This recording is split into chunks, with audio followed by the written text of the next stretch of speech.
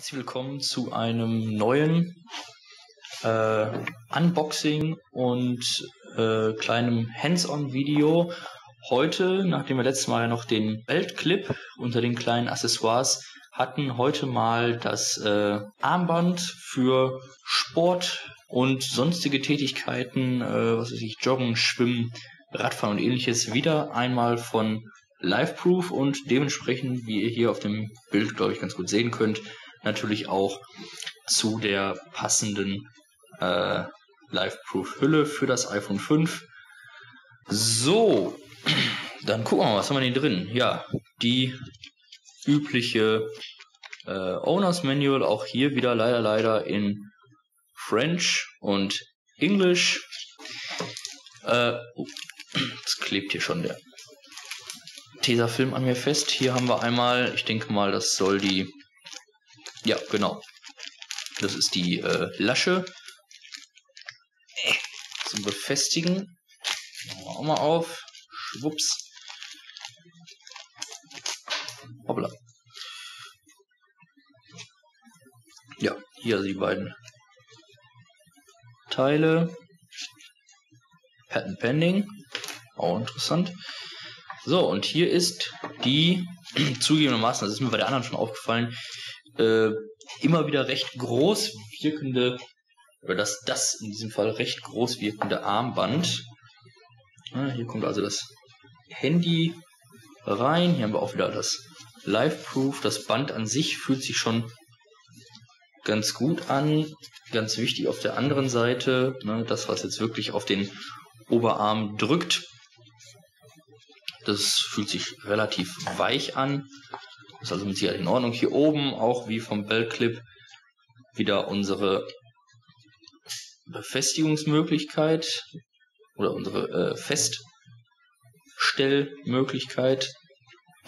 Etwas schwergängiger als beim Bellclip, aber ist vielleicht auch gar nicht so schlecht, weil ich meine, das wird man, äh, wenn es einmal dran ist, sag ich mal, beim Joggen oder so wahrscheinlich eher weniger oder eher seltener ähm, rausnehmen als bei dem Bellclip. So, hier auch nochmal die vier Proofs als kleines Symbol. Der Rest geht, oh, ist ein sehr interessanter Klettverschluss hier. Geht per Klettverschluss. Und hier haben wir auch schon so grob eingeschrieben, doch, man kann es erkennen, ne? Da genau äh, XSSML, XL, XXL und bis zu 3XL. Also ich versuche jetzt mal ganz kurz auf die Schnelle. Ja, doch, hier hinten steht sogar drauf. Ähm, da haben wir es. Fit Biceps Measuring äh, 10 to 23 Inches. Sind also, ach, ach, das ist ja praktisch äh, also in Zentimeter umgerechnet 25,4 bis 58,4 Millimeter Oberarmumfang dürfen wir haben. Äh, ansonsten sieht man hier auch schon, räumen wir das mal weg. Es ist also sehr, äh, sehr nicht, aber an, angenehm flexibel auch. Ne, nur für den Fall das. Und ja, achso, ich glaube, jetzt nehmen wir das hier erstmal raus, genau. Schon gefragt, wie es jetzt hier weitergeht. So, das ist also die Hülle von hinten. Ganz blank. Hier diesmal auch kein Medaillon drin, sondern einfach nur die feste Hülle. Achso, logisch. Das soll ich jetzt also ungefähr Desired Position, genau. Äh, ungefähr dahin machen, wo ich es gerne hätte. So. So, nee, Quatsch, andersrum natürlich. So, genau. Ähm, ja, hm. Ehrlich gesagt, keine Ahnung.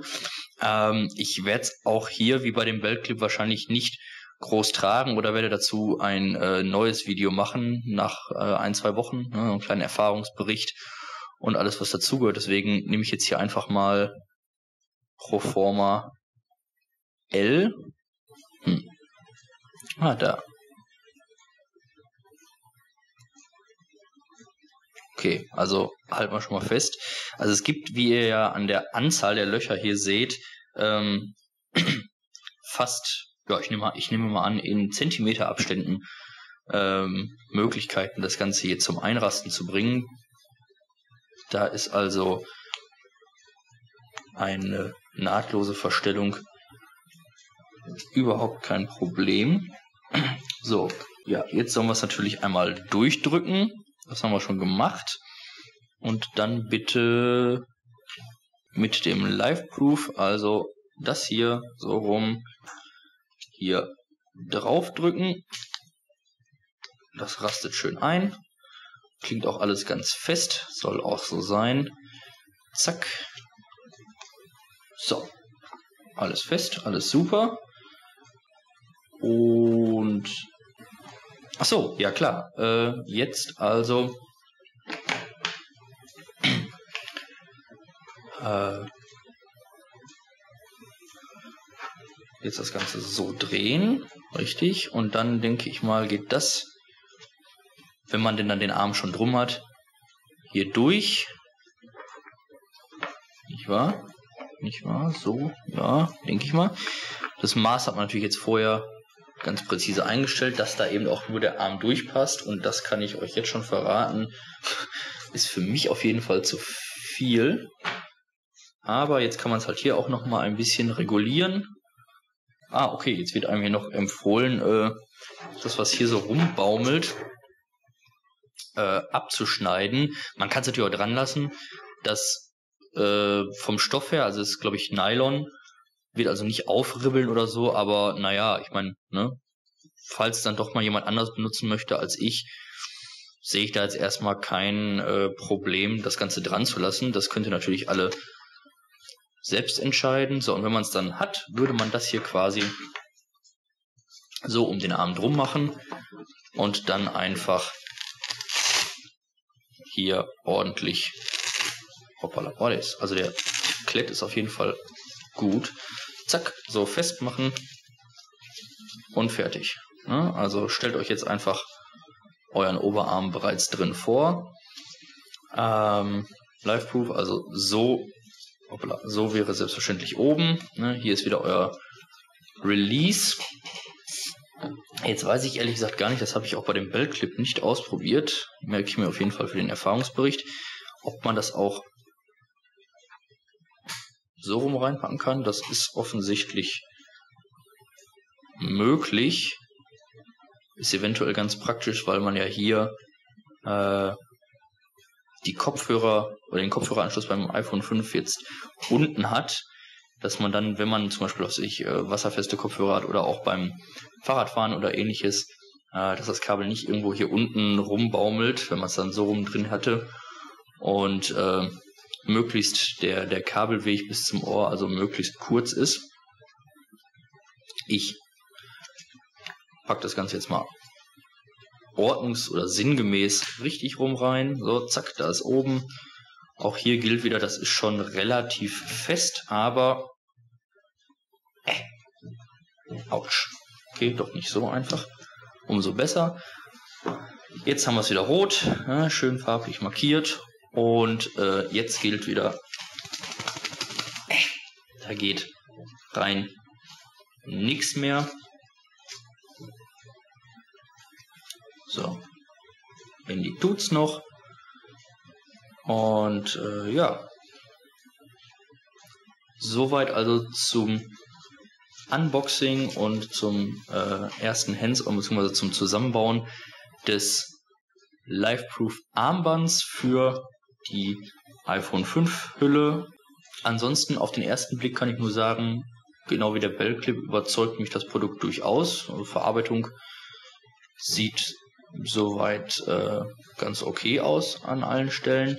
Das Band oder die, beziehungsweise hier diese äh, Einstellmöglichkeiten sind super variabel. Da hat man also wirklich alle Möglichkeiten offen und trotz allem, äh, also ist natürlich nicht ganz stufenlos, aber ich denke mal äh, auf einen Zentimeter genau kann man das schon als sehr variabel bezeichnen.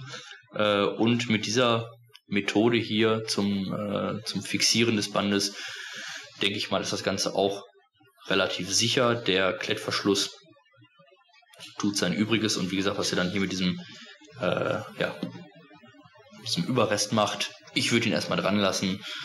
Ähm, ob der Arm irgendwann mal dicker oder dünner wird, sei jetzt dahingestellt, oder ob man es vielleicht einfach nur, was viel mehr Sinn macht, äh, einer zweiten Person geben möchte. Das sei, wie gesagt, euch überlassen. Dann sage ich erstmal wieder Danke fürs Zuschauen. Ich hoffe, ähm, auch hier sind alle eure Fragen fürs Erste äh, beantwortet. Ich hoffe, ihr konntet all das sehen, was man denn gerne gesehen hätte bei so einem Unboxing. Und ähm, ja, danke fürs Zuschauen. Anmerkungen und ähnliches bitte unten in die Kommentare. Und wenn es euch gefallen hat, einmal auf den gefällt mir, Like, whatever Button, je nachdem. Ihr wisst, was ich meine. Bis zum nächsten Mal. Tschüss.